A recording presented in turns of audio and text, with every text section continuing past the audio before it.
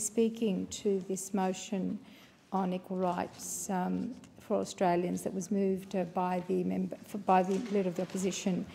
and of course uh, seconded by the Prime Minister. And I, I, want to start by saying that I was actually in your place, uh, Deputy Speaker, just before lunch, listening to um, many of my colleagues who were speaking to this motion.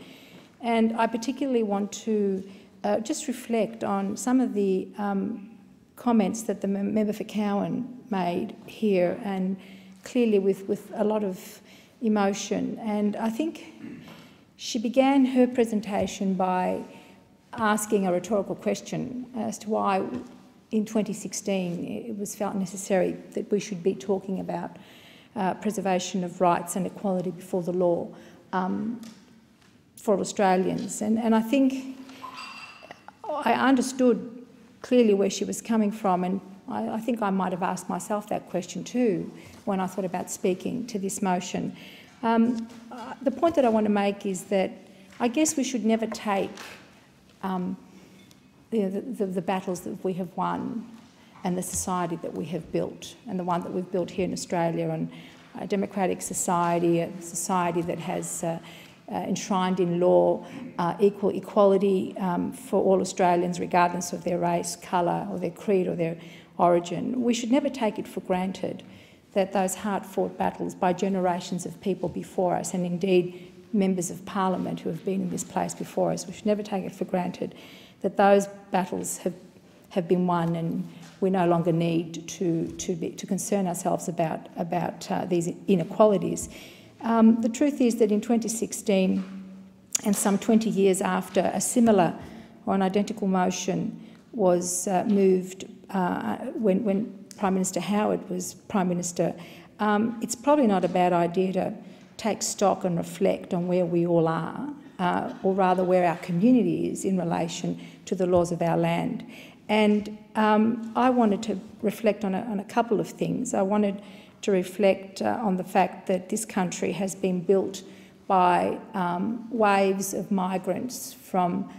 countries all over the world, myself included. Um, and it's a country that is often described as a modern um, multicultural society, an open society, a democratic country, uh, one that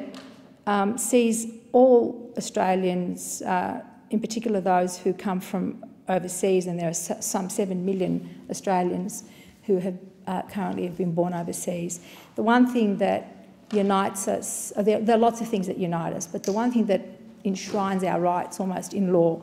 is the Australian Citizenship Act itself and the fact that we become Australian citizens. And as Australian citizens, we enjoy the same privileges and, of course, we have the same obligations. So we, we have a society that's based on some very, very um, uh, strong institutions and, and laws that, that protect all of us. The Racial Discrimination Act um, that was put into place uh, over four decades or so ago, all of these laws that have been put together by this parliament and other parliaments that are aimed at ensuring that everyone has,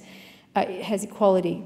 and that we're all protected against things that might be said by others that might be hurtful and offensive or that might degrade us. And um, I understand that very much because, therefore, I understand where the member for Cowan was coming from because, you know, I've grown up in this country as, as a foreigner. I became an Australian citizen and now I'm in the Australian Parliament. And I think that I represent what the modern contemporary Australian is today. So, and I'm very proud of that. So, obviously, I'm very keen to ensure that nothing interferes with uh,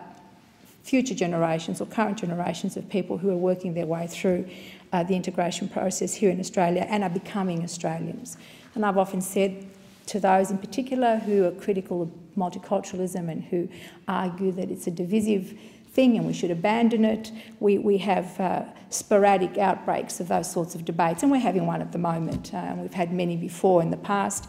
and we'll overcome it in the same way that we've overcome it in the past. Um, multiculturalism for me and for many Australians is really underpinned by, by these uh, laws and it's also a process by which people become Australians. So it's not a divisive policy, it's, it's four and a half uh, decades of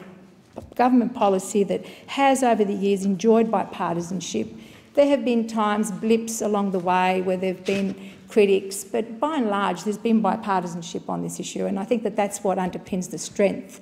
of our modern Australian uh, multicultural society. We've also, in that mix, uh, Deputy Speaker, have pursued um, a non-discriminatory immigration policy.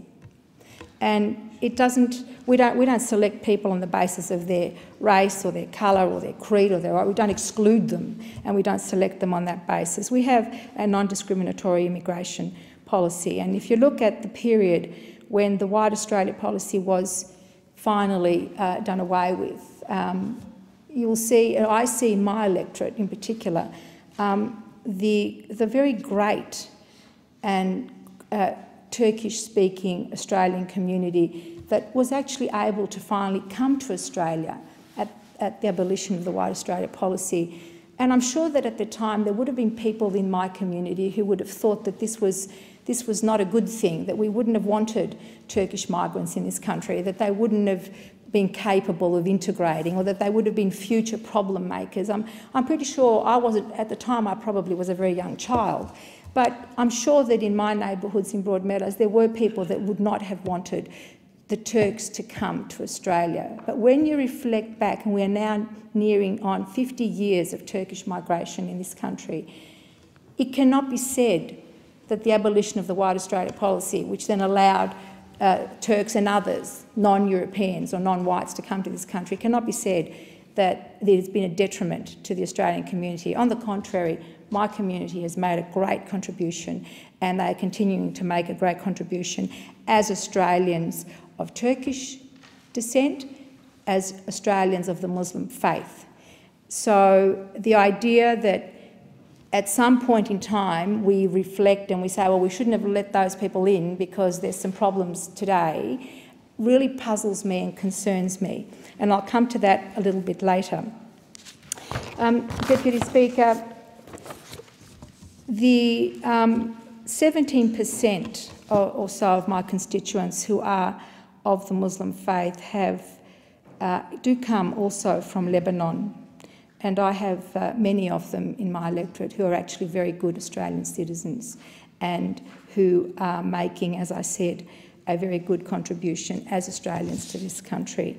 Um, and in addition to that, I'm also very pleased that we are to welcome a very large number, in fact, the biggest number of Iraqi Christians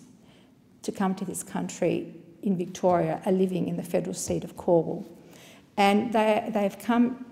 to, to, to live here under the refugee program. And I have spent a lot of my time in interacting with them, in trying to assist them and teach them about the Australian community that they have come to live in. And yes, many of them come here with preconceived ideas and views about people of the Muslim faith. And I can understand that. They've come out of the Middle East, they, they still have family who are being persecuted. But I have found that it was important, and it is important to me as their federal member, to rather than use that concern and fear that they have, to rather than use it and stir my community, I realise that it is absolutely critical that the leadership that I show in my local community is to ensure that I help them through a process of settling and integrating into Australia that helps them they have, have a positive experience. So I'm very, very um, critical um, of, of anyone who chooses to uh, hijack this debate and turn it into a political attack on other people. I am worried uh, Deputy Speaker, about the rise of a particular attitude